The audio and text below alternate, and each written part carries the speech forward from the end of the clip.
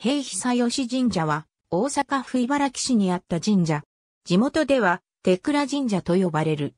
演技式神名帳に、摂津国島下郡平、久吉神社具合湯と記されている、式内社。明治41年に、愛の式内社である、熱海神社に合祀された。環状年月不詳。元禄11年、平、久吉の森から、モズや小松原の瑠璃公院の西に移した。後半別記に、手安山の羊猿に、耳原村上野村の墓所があるので、これを意味、元禄10年、大阪五奉行所へ願い出て、薬師堂の松原へ社を移すとある。薬も五章に、月夜には手倉の森も蔵から済まして白野の浜、いかならんと読まれている。平、久吉山の東の池はみこしを埋めたのでみたらしい池と呼ばれた。元禄の社殿修築の際、池の木を使おうとしても動かないので、神木としたが、後に畑にするために伐採した村人が病死したので、延享元年に神木のあったところに祠を建てた。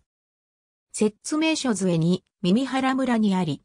桑うつぼ、演技式に伊豆、生土神とす、今稲荷大明神と称す。とあり、平久吉神社玄根境内の図には、平久吉山、平久吉池の東、西国街道の北、伝寺の中に、半税天皇陵と李中天皇陵の間に、鳥居、灯籠、拝殿、本殿が描かれ、文化3年に作成された山崎通文館の別にも、李中帝陵に稲荷社と薬師が並んでいる。